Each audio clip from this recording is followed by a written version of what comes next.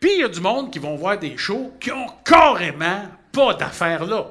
Je le sais, moi, il y a du monde qui, qui m'écrivent sur Facebook, qui font Moi là, je t'ai jamais aimé, t'es allé voir ton show samedi passé et j'ai détesté ça.